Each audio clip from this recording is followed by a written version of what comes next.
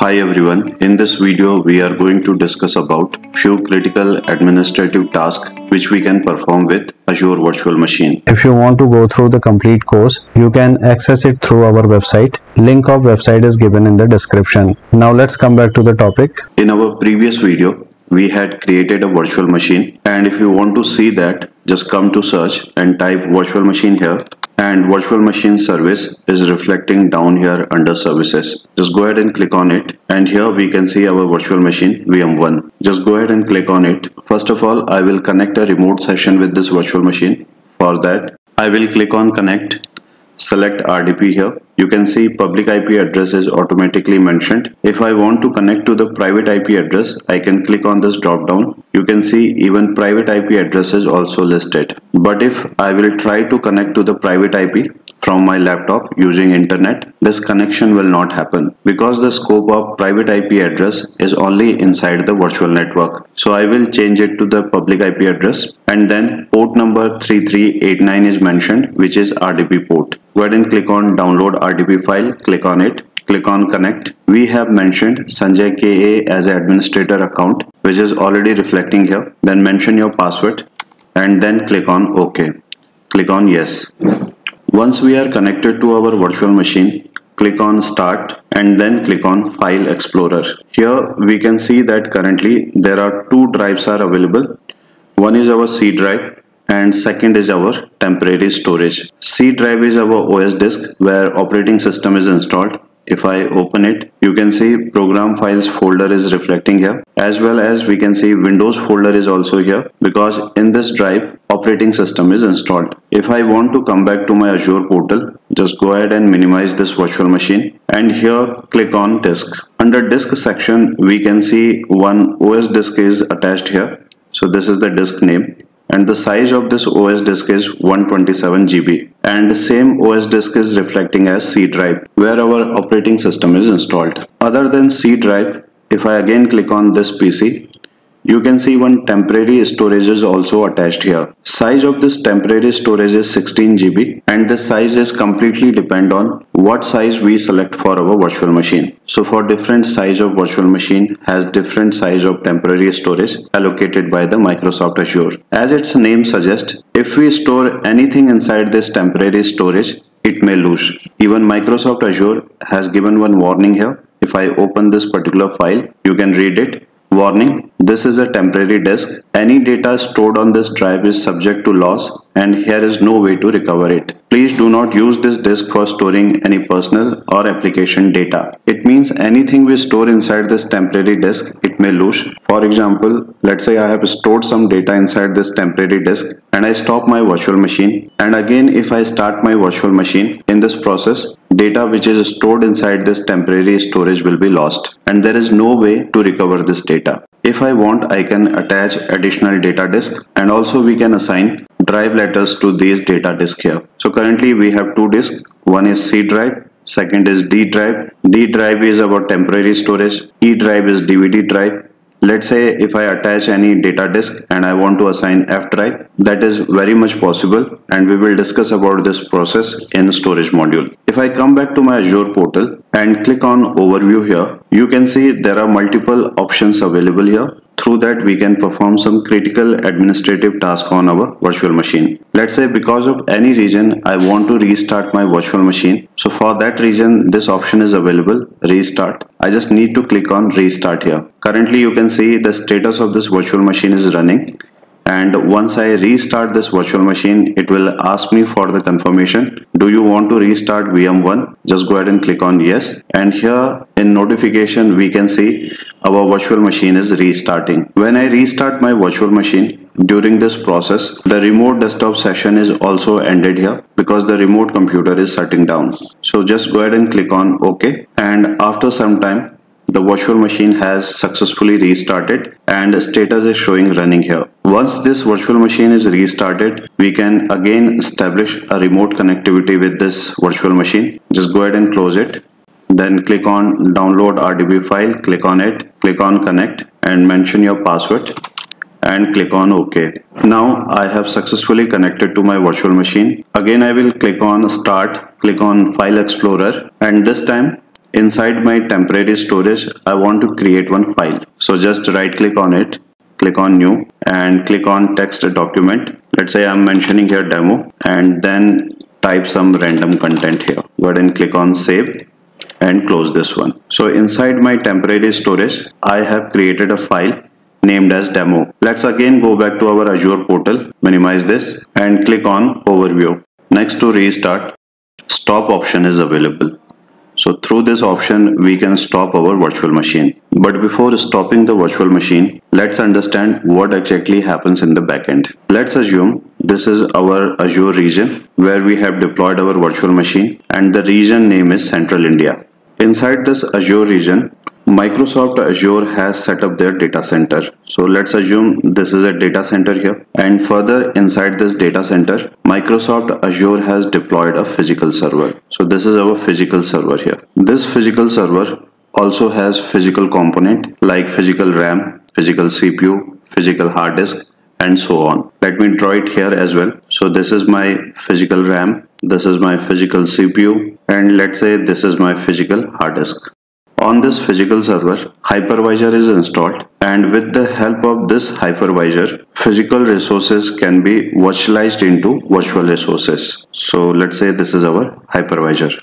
Now when I created my Azure virtual machine from the Azure portal, let's assume this virtual machine is deployed inside this physical server. So this is my virtual machine here and the name of this virtual machine is VM1. To run this virtual machine, we need resources like RAM, CPU, storage and so on. And when I created a virtual machine, I had selected a size and through that size we wanted to assign two virtual CPU, 8 GB of RAM, one OS disk is also assigned and the size of this OS disk is 127 GB and based on our size 16 GB temporary storage is also assigned with this particular virtual machine. Now next question is from where these compute and storage resources will assign to this virtual machine. As I mentioned earlier, this is my physical server and with this physical server, physical RAM, physical CPU and physical hard disk is also connected. Also in this physical server, we have installed a hypervisor and with the help of this hypervisor, we can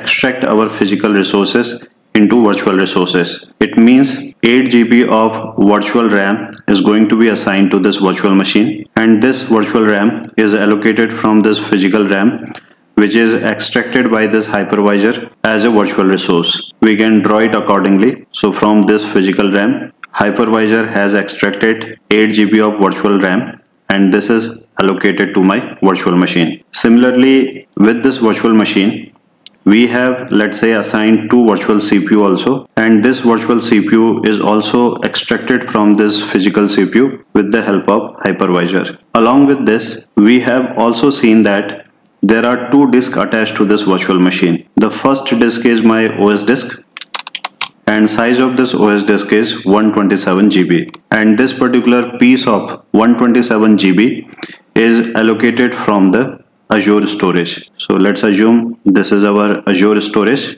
and from Azure storage one piece of 127 GB is allocated as OS disk to my virtual machine. Similarly, one temporary storage is also allocated with this virtual machine and the size of this temporary storage is 16 GB. This piece of 16 GB is actually allocated from my physical hard disk which is connected to my physical server with the help of hypervisor. So this hypervisor extracted 16 GB of virtual storage from my local hard disk and allocated to this virtual machine as a temporary storage. Now whenever I stop my virtual machine, resources allocated with my virtual machine start deallocating. It means suppose I stop this virtual machine. In this case, all of my virtual resources those are allocated with this virtual machine will remove from here except this OS disk. Let's understand it with the help of diagram. So this temporary storage will also be removed from here.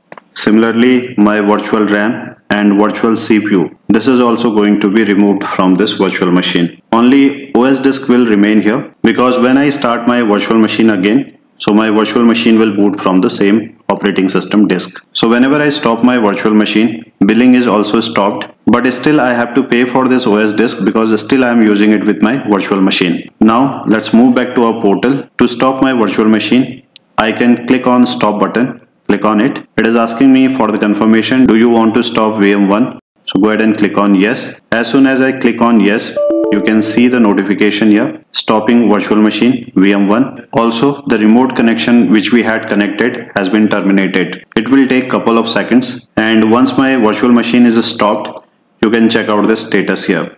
Status is showing stopped. In bracket it is mentioned deallocated and deallocated means all of the allocated resources with this virtual machine has removed now. So as i mentioned except os disk everything has been removed now. If i want to start this virtual machine again i can click on start button now.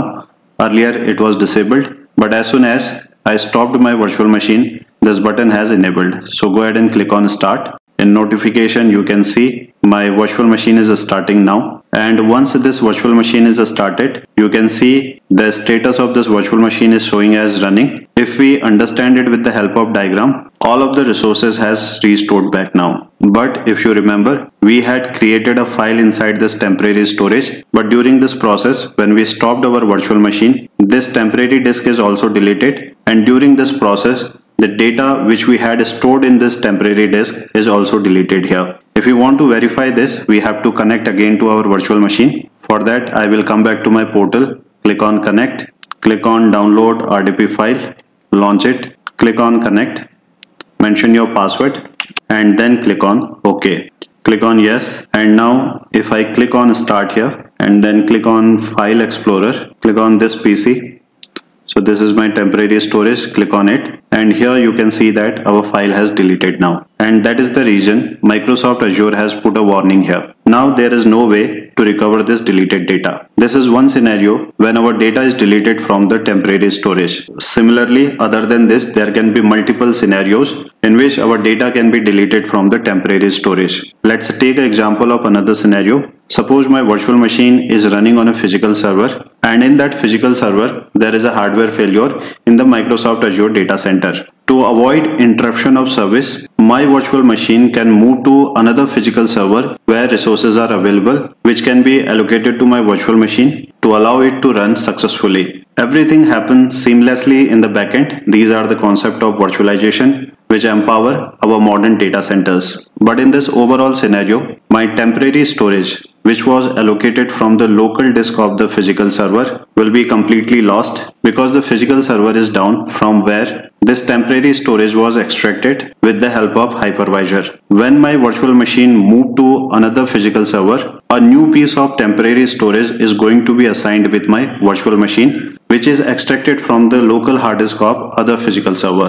Let's come back to our portal again and now we will discuss about the password reset. When we created a virtual machine, with this virtual machine we had also created an administrator username and the password. Let's say if we forget our password of this virtual machine, we can reset it with the help of this Azure portal. So currently I am on VM1 and from here we can scroll it down till bottom and under help we will find out an option called reset password. Just go ahead and click on it and here select reset password. Mention your username. So my username is Sanjay KA and then we can mention our new password. So I am giving a new password for this virtual machine confirm password again and then go ahead and click on update in notification you can see that password is resetting it will take some time and once password is resetted successfully then going forward we can connect with our new password with this virtual machine. So these were few critical administrative tasks which we can perform with our virtual machine. I hope these concepts are clear. See you in next video. Thank you.